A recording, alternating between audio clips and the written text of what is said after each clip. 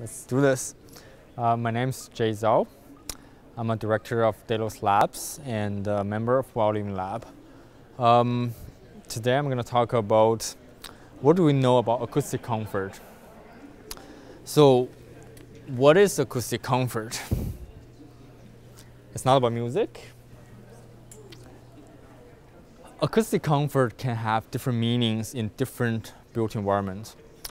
What we talk about here is only targeting offices, not in homes. In homes, I guess we want privacy, we want to be quiet, uh, maybe some nature sound, water or sea, or, but this is office. Uh, in office, we typically talk about two things. One, reduce noise, not noisy, not from HVAC, uh, HVAC, heating, cooling, ventilation systems, and not from other people's talking, uh, it, could, it should be a quiet space for people to be concentrated on work. But that's not enough. You also need privacy. Coworkers talking about things uh, can be private, can be confidential to their own group. You want privacy. So that's the two aspect of acoustic comfort in offices.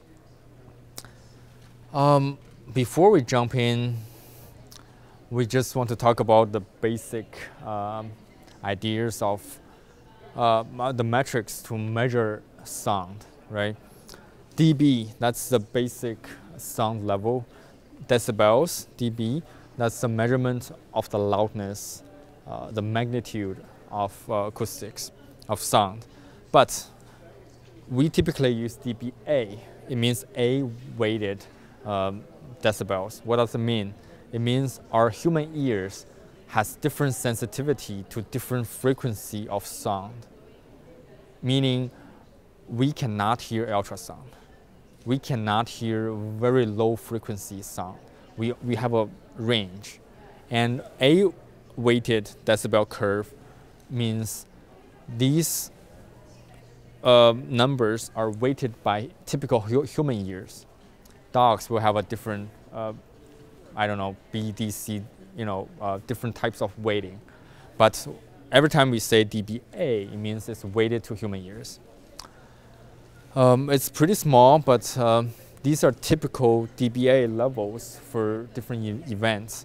For example, um, if you hear, you know, leaves um, by wind, that's 20 decibels, that's 20 dB.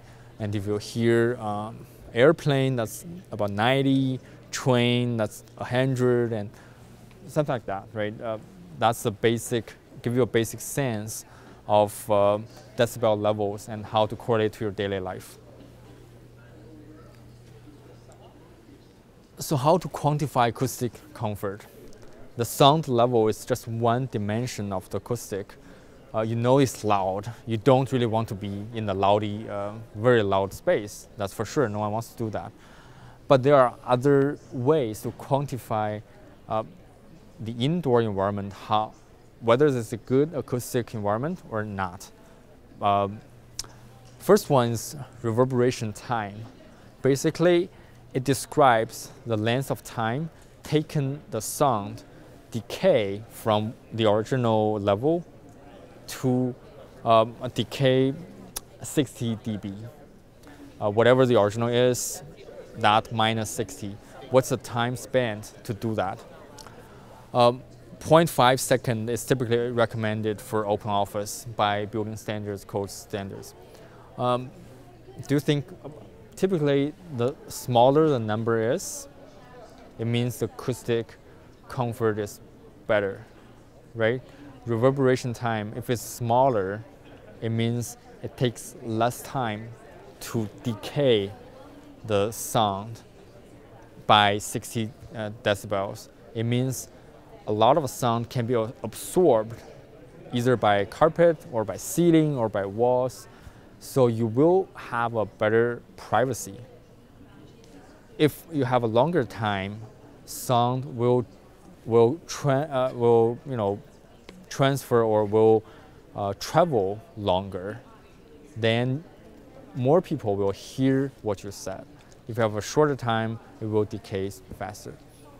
That's reverberation time. Typically, you use a bloom and you you know, take out the blue and boom, then you use the meter to, to measure the time.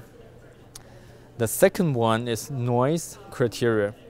Basically, it's a set of uh, uh, curves that's uh, over different frequency, and you measure different frequent of the sound and see where your room curve falls in. Um, if you say it's NC means noise criteria, if the NC 15 is here, it means all your measurements are falling this space in different frequencies. If it's NC 55, it's, it has to be all below this line. So if it's above, even one out of uh, five or seven frequency is above one line, it will have to go up to one level. So typically, 35 to 40 uh, NC is recommended for open office.